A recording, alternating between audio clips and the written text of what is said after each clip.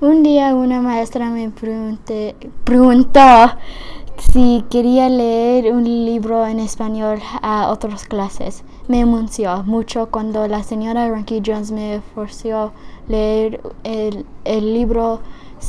Me sentí feliz que, que yo podía leer mm, español a otros estudiantes y clases.